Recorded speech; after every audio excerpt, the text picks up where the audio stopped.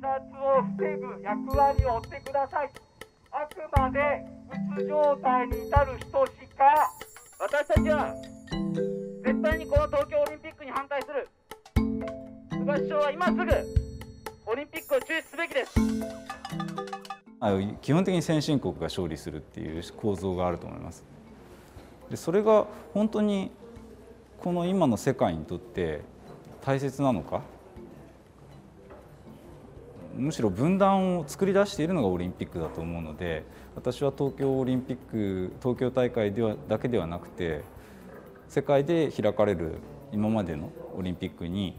そしてこれからのオリンピックに反対したいと思います。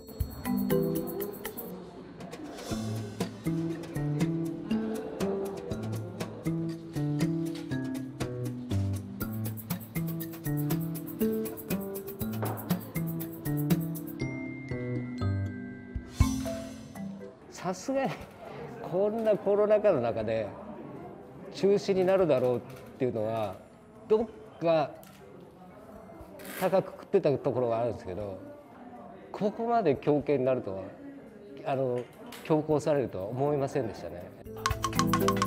安全安心ということを前提にしたんですから。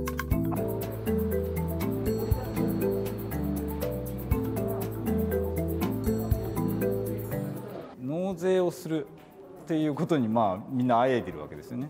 たくさんの税金をあの毎年毎年皆さん払っている。